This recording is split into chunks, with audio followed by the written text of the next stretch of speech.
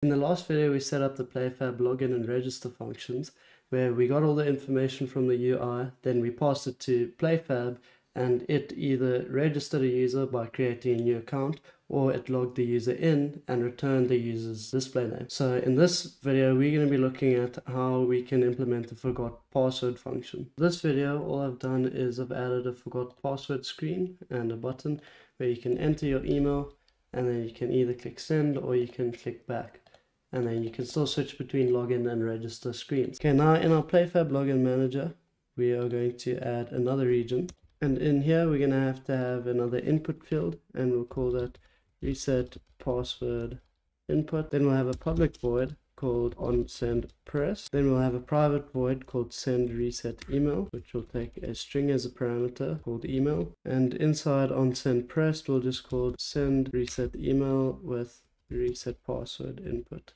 dot text.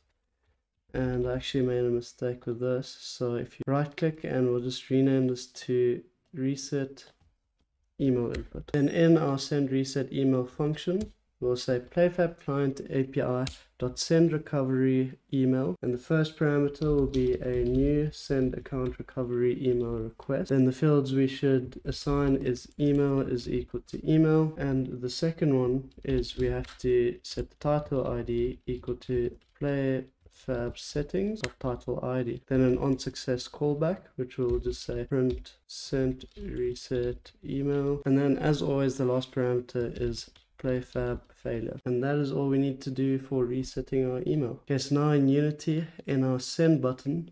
All we need to do is add a reference to the manager game object.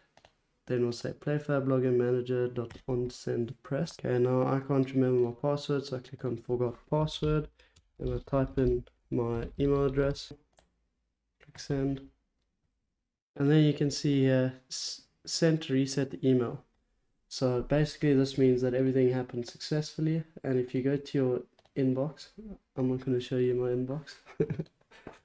um, here I've got a password reset email. You saw how short my password is in the previous video, so I'm just going to go and create a new password for myself.